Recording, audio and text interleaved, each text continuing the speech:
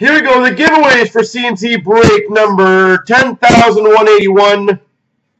Top seven people will win items, so three times. Here we go. One, two, three. Where's seven?